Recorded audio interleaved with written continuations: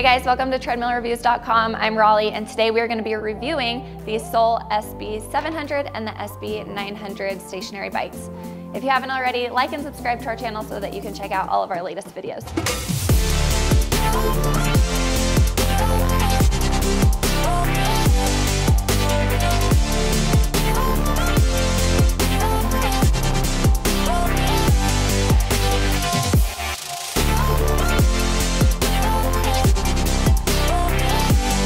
Bikes are really similar in functionality and in build quality. They have many of the same features, but there are some things that are a little bit different, such as the pedals and the way that it uses resistance.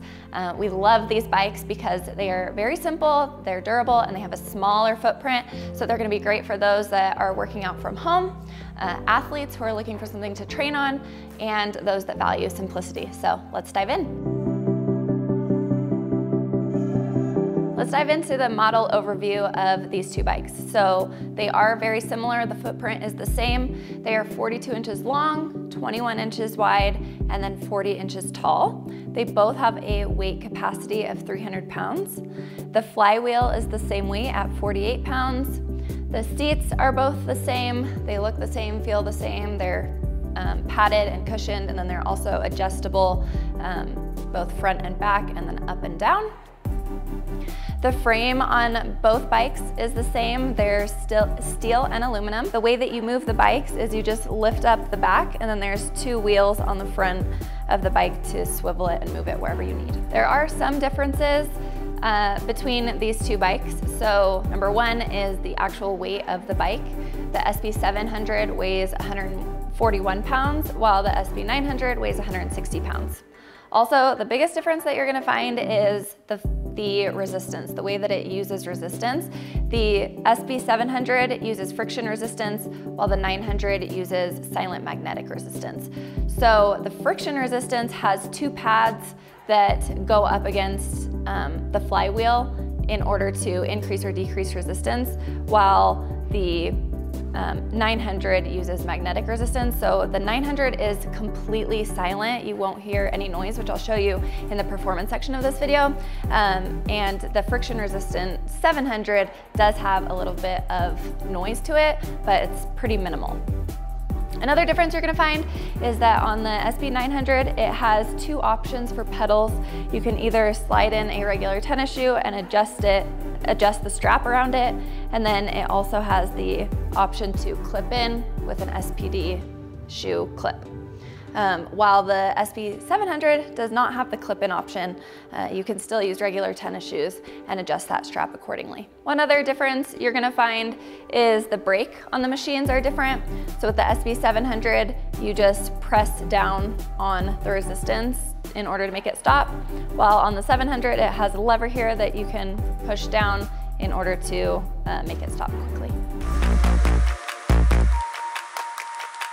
Let's get into the features and accessories of the Sole bikes. They both have tablet holders here at the top, so you can watch your own shows, listen to music, you can use third-party apps such as the Peloton or iFit app, but they will not connect through Bluetooth on these.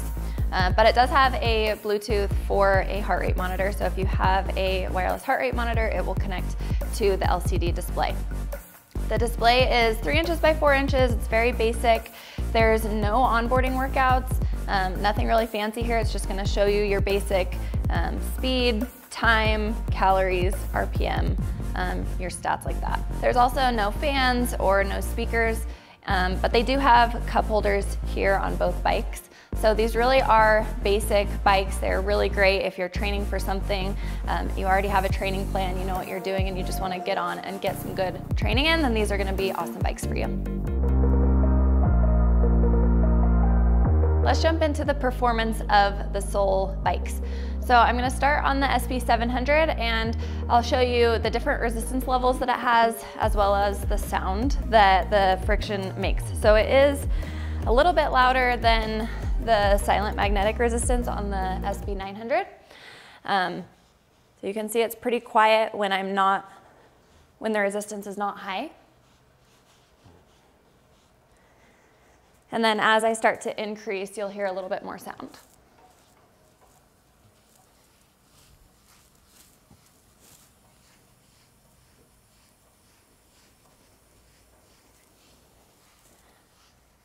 So another nice thing about the friction resistance is that it increases resistance so much that I can't even move it.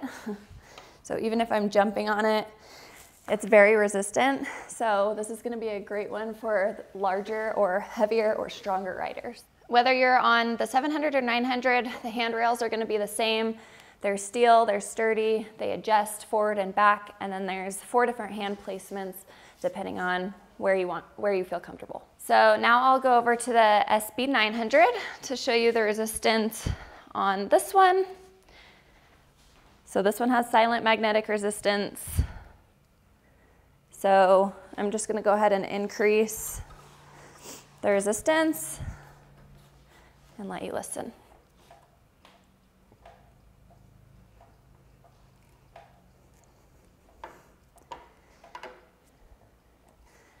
So as you can see, it's very silent. Can't hear anything. So if you are looking for a bike that's completely quiet for at home, this one might be a good option, but the friction resistance does just fine as well. Thanks so much for watching this video today. I'm Raleigh and this was the SB700 and SB900 stationary bikes.